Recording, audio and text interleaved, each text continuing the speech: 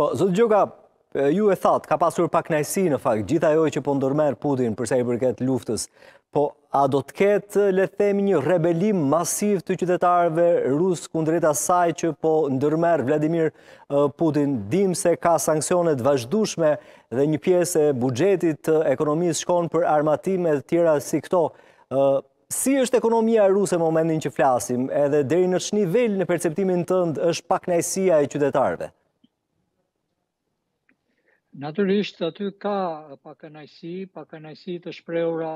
në nivele të ndryshme, por duhet të keni parasysh se në një shoqëri të mbyllur, në një shoqëri që drejtohet me një regjim të fortë autoritar, mjetet e demokracisë janë të kufizuara. Kështu që njerëzit brenda Federatës Ruse shpesh ndodhen përpara një propagande që u shpëlan trurin, i largon nga realiteti, i ushqen me disa dogma të cilat konsiderohen si paqësore, jo, jo si luftënxitëse, por disa dogma të cilat kërkojnë të ruajnë atë lloj integriteti të brendshëm të shoqërisë, por edhe me vendet e ish-Bashkimit Sovjetik, po. Kështu që në këtë kuadër nuk shikohet që të ketë një lëvizje masive nga popullsia e Federatës Ruse aktualisht, ndërkohë që dhe opozita atje me vrasjen e Navalnit mori një goditje të fortë. Dhe nga ana tjetër duhet pasur parasysh se edhe mjetet e komunikimit publik aty janë të kontrolluara, komunikimi me botën me me realitetet ndërkombëtare është i cunguar, kështu që njerëzit nuk kanë shumë informacion mbi zhvillimet reale, veçanërisht mbi zhvillimet demokratike dhe mbi zhvillimet në në fushën e sigurisë dhe në fushën e bashkëpunimit midis vendeve dhe popujve. Në këto kushte unë për të ardhmen e afërt nuk shikoj ndonjë lëvizje të fuqishme brenda shoqërisë ruse, por kjo nuk do të thotë që shoqëria ruse dhe veçanërisht opozita të mos angazhohet, të mos punojë dhe të mos grumbullojë dhe të akumulojë mjete të ndryshme reaguese ndaj politikave represive të Kremlinit. Qartë, Zoti Gjoka, doja t'ju pyesja gjithashtu edhe për sa i përket ndikimit që ka Rusia në botë, në Ukrainë, por edhe në Ballkan. A është më i fortë Vladimir Putin në qëllimet e tij për të influencuar edhe zonën e Ballkanit Perëndimor? Nuk mendoj se fuqia e presidentit Putin është rritur edhe do të rritet me mbas zgjedhjeve të tij të zhvilluara në ditët e fundit të javës që sapo u mbyll, për vetë faktin sepse roli dhe reputacioni i Federatës Ruse në arenën ndërkombëtare ka rënë tashmë. Ka rënë, ju e shikoni edhe në përshëndetjet që i bën personalitete të ndryshme në botë rizgjedhjes së presidentit Putin në një mandat të ri presidencial ku personalitetet e vëndeve të ndryshme ishin sa gishtat e pothuajse pak më shumë se një dore. Ndërkohë që vëndet e mëdha, vëndet me potencial në zhvillime ndërkombëtare, i quajtën zgjedhjet presidenciale si zgjedhje të pandershme dhe si zgjedhje që nuk tregojnë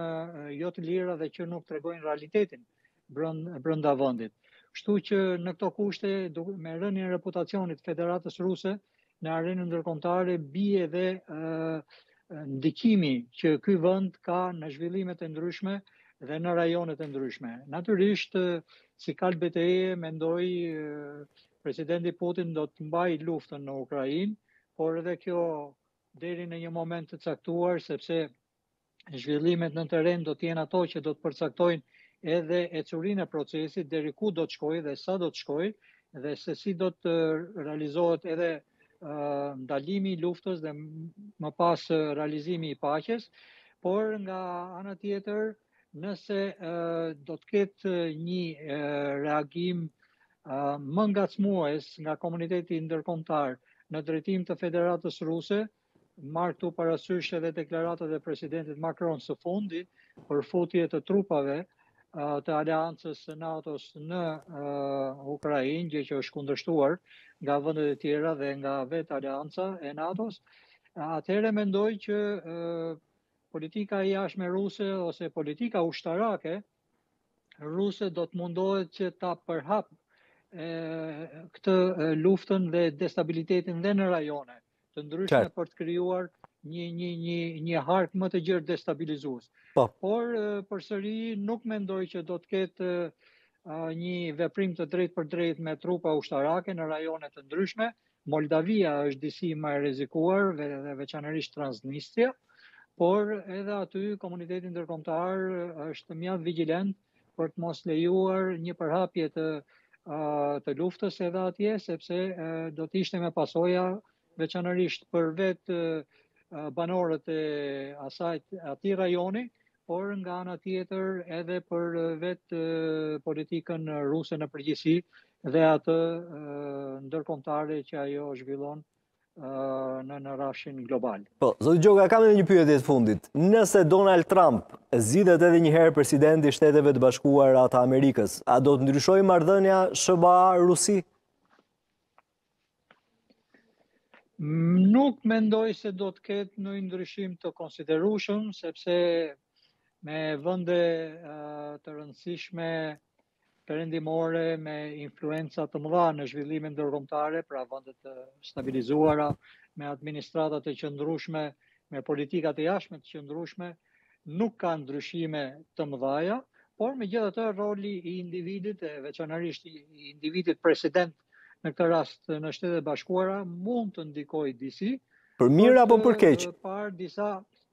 për të parë disa rrugëzgjidhje të tjera, të cilat do t'ia lëmë kohës për t'i parë dhe për t'i gjykuar, por në përgjithësi Shtetet e Bashkuara të Amerikës, unë mendoj që do të vazhdojnë të luajnë atë rol kundërpeshë ndaj politikës së luftës që udhëheq që drejton Kremlini edhe ndaj Ukrainës, por në përgjithësi destabilizuese edhe në rajone të tjera të botës dhe nga ana tjetër për t'i mëshuar gjithmonë më shumë uh, elementëve të sigurisë, forcimit të elementëve të sigurisë dhe për të ruajtur stabilitetin dhe paqen në kontinentin evropian tashmë, por dhe në rajone të ndryshme të botës. Zoti Gjoka faleminderit shumë, të urojmë mbrëmje të qetë. Nesi. Nesi.